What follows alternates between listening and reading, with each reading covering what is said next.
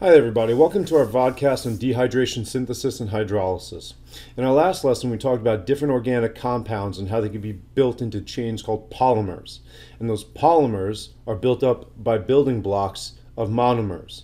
So what we're going to do in this vodcast here is we're going to talk about how those monomers, such as glucose and amino acids, can get bonded together to create these long chains and also how we can actually take those big polymers like starches and proteins and break them down into their building blocks when we need them. The first reaction we're going to talk about is dehydration synthesis. Now, dehydration synthesis is a chemical reaction that bonds the monomers like glucose and amino acids with the removal of water, so it sticks them together. Now, if you think about the term dehydration synthesis and you think about the meaning of the words, this definition is pretty simple to remember. Dehydration. If you're feeling dehydrated, you, you have a loss of water. You don't have a lot of water. So this is the taking out of water. And synthesis basically means to build or to put together. So when you put these two definitions together, it's basically saying it's building something with the removal or loss of water. So first of all, in step one of dehydration synthesis, you have our glucose molecules here and here. They have to fit into a protein called an enzyme, and there's a specific part of an enzyme called the active site. Now, when we take a look at an enzyme, you'll notice that the enzyme here is going to have these areas carved out where these glucose molecules will fit in. This is the active site because this is where the action is going to take place, because this is where the molecules are going to sit. Once you have these molecules in the active site of the enzyme, then we can move on to step two. Step two basically says a hydrogen from one glucose molecule and an OH group from another glucose molecule will break off and then bond together and form water. So this is what that looks like. Okay, so this OH is going to leave, and then this hydrogen is going to leave to bond with that. And as a result, we have an oxygen left alone here, and then we have nothing on this side of the glucose. But when we take a look at this molecule here, we have two hydrogens and an oxygen. Well, that means we have a compound called H2O, which is water. Once that water is removed, the sugars then bond to form a disaccharide.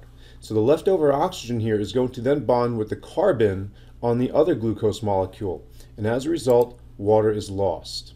And this is called dehydration synthesis. When we take out the water, the leftover oxygen bonds with the other molecule. Now let's take a quick look at hydrolysis. Okay, so now we're going to talk about the process called hydrolysis.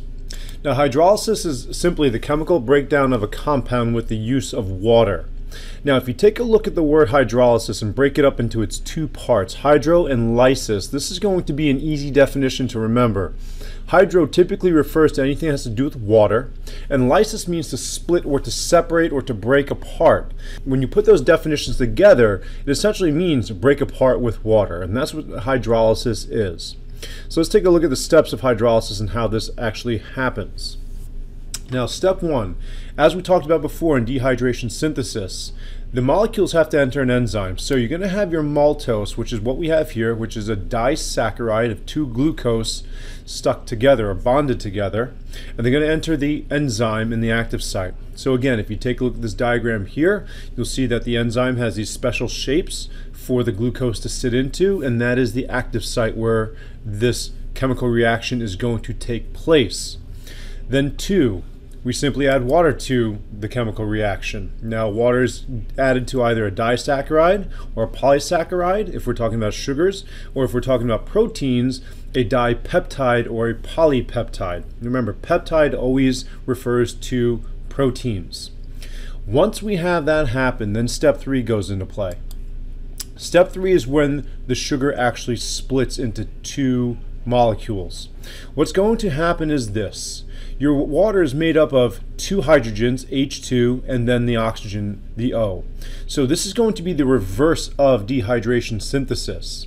So one of the hydrogen molecules from the water is then going to attach to the exposed oxygen molecule from one of these sugars. Because remember, in dehydration synthesis, we bonded these two molecules at the oxygen.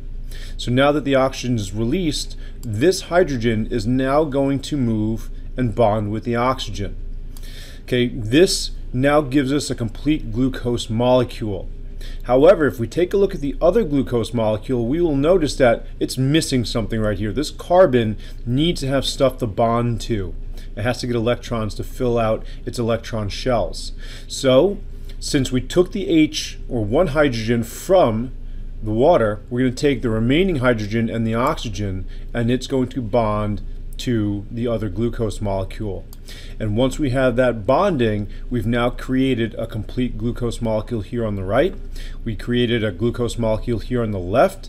And as you can see, we've split them. They are no longer bonded together in the middle by the oxygen. They are now split because the water, the H2O, has provided the glucose molecules with the elements and the electrons they need to create two complete glucose molecules. And that's all there is to hydrolysis. So that concludes our vodcast on dehydration synthesis and hydrolysis. Thank you for your time. I hope you found that helpful.